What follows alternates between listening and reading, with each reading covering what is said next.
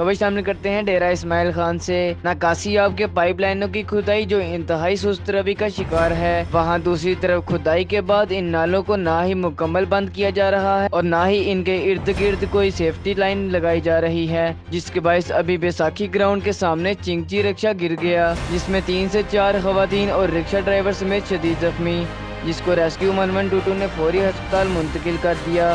जबकि चिंची रक्षा मुकम्मल तबाह हो गया। सराय के मुताबिक सर्कुलर डोर पर खुदाई के इन गढ़ों में मुख्तलि मकाम पर मोटरसाइकिल सवार और राहगीर सेफ्टी पट्टी न होने के बायस गिर कर जख्मी हुए हैं। लाइन दिल्ली इंतजामिया और मुतल महकमों से मुतालबा है की जहाँ खुदाई का काम शुरू हो, वहाँ आम आवाम की हिफाजत के लिए सेफ्टी लाइन और रात के वक्त लाइटिंग के इंतज़ाम किए जाए, ताकि कोई नाहुशगवार वाक़ रोनुमा न हो। खबर शामिल करते हैं मीरपुर आज़ाद कश्मीर से खड़ी शरीफ के नाम वार आलमदीन साहिबजादा इलामा कारी मोहम्मद नईम इरफानी महतमा अल हबीब इस्लामिक सेंटर आए गुजशत दिनों आज़ाए कुल में शदीद बीमार हुए और इस्लामाबाद एम एच हस्पताल जेर इलाज रहे।